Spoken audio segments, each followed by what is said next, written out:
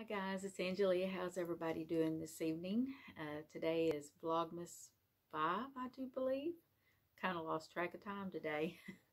it's late and I'm tired. I've had a long day, but anyway, it's uh, day 5 of my showing you my ornaments that I am making. I've got my others on my tree over there. I still need to move it a little closer. I kind of forgot to do that, but it's getting full. and the one that I made this time is uh it's not a little ornament it's a big one. It's actually wouldn't it wouldn't well i guess you could say it was an ornament. You can hang it on the tree as an ornament but it was it's considered a uh, a gift card holder. But whenever i seen it i thought yeah i think i want to try to do it a little different. And i was inspired by something that i got the other day that wanted me to change it to the look that i gave it. So anyway here it is I have a uh, fascination with these old red vintage trucks. I love them. And I have uh, some in my house that uh, I decorate with. I have another tree that sits over here that uh, I have some hanging in it. And then I have some just around the house. But um, I just love this old truck. I just, you know, just I don't know, it just feels, they just feel homey whenever you see them. It just, I, I love them. But anyway, this is a free pattern by Maria's Blue Crayon. And it's called uh, Red Truck Gift Card. Or, yeah, gift card holder. And what inspired me to, to make it look like this, the other day whenever I went to the Dollar General, I found something and I was so excited because I have a couple of more, but I didn't have a Christmas one. And then I found this. the old vintage truck. And it's a salt and pepper shaker. And it was only $2. I couldn't believe it. I was like, whoa. And it was the only one they had. So I guess it was meant to be. But that's what inspired me to want to take one that she has and to kind of, I modified it somewhat. I, uh, let me put down my salt and pepper shaker before I break it. what I did was I added some fender wells. I wanted to kind of spruce it up a little bit. So I did that. I gave it some headlights. I did some French knots and gave it headlights. And then I whip stitched bumper on it.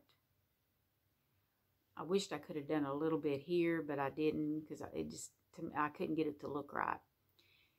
And then I took the tree, instead of just having one tree, because that's all she had was just one, I doubled it and then just crocheted them together.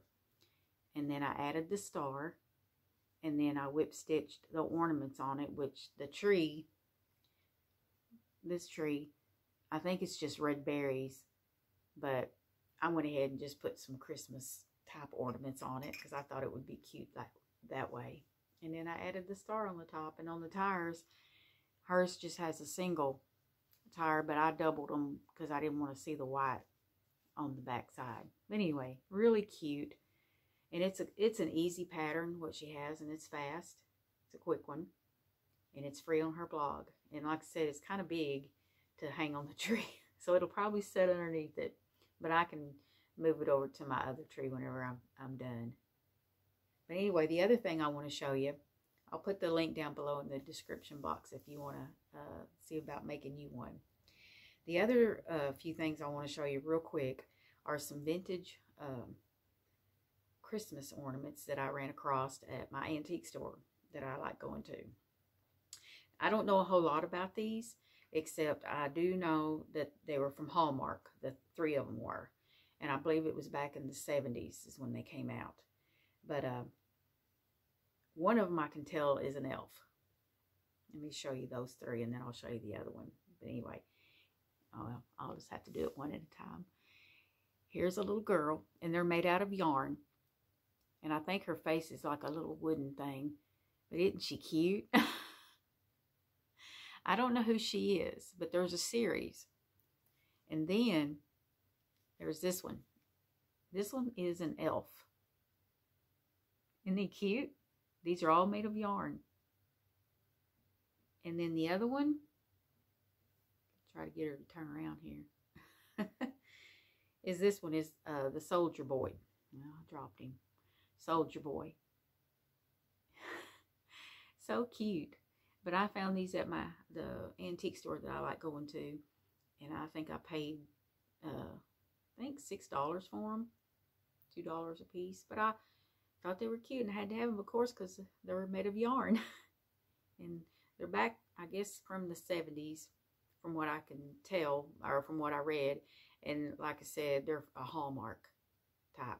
Now the other one, I don't know if it's actually a Christmas ornament. I took it that it was but I like clowns, and uh, I couldn't pass this one up because it was made with yarn too. and I don't know how old he is, but he looks pretty old. and I don't know where he's from originally.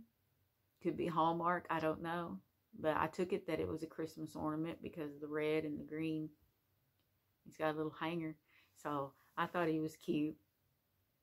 And uh, so I put him on my tree with all my vintage stuff. I got another tree sitting over there. But anyhow, that's what I got to show you today.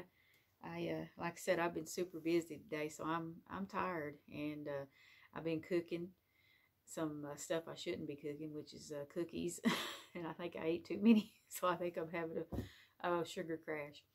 But anyway, I'm gonna hop off of here, and tomorrow I'm gonna get busy and work on what is it? Uh, ornament number six for uh, Vlogmas Day 6. But anyway, I hope you guys have a wonderful evening, and I will be chatting at you real soon.